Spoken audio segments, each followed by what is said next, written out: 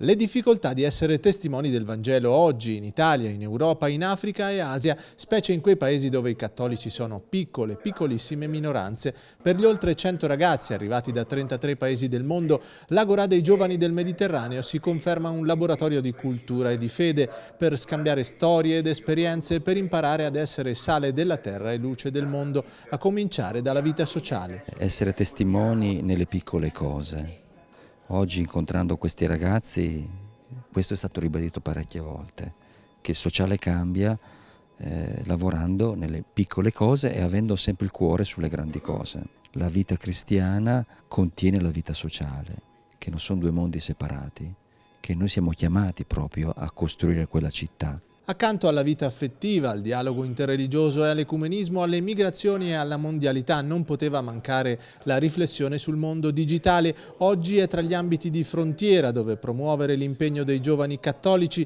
per essere forza benefica e pacifica di cambiamento profondo, come auspicato da Papa Benedetto XVI. Noi sappiamo dalle ricerche fatte che i giovani fino a 24 anni nella rete, soprattutto nei social network, Facebook, Twitter, eccetera, non parlano volentieri né di religione religione né di politica, perché sono argomenti che separano, che scindono, mentre loro hanno bisogno di questa carezzevole omogeneità di una relazione flebile. Si può invece comunicare una parola densa che apra sull'esperienza personale, sull'esperienza dell'uomo e della donna, che poi appunto ha il sapore di Vangelo, ha il sapore di Cafarno, ha il sapore di Nazareth.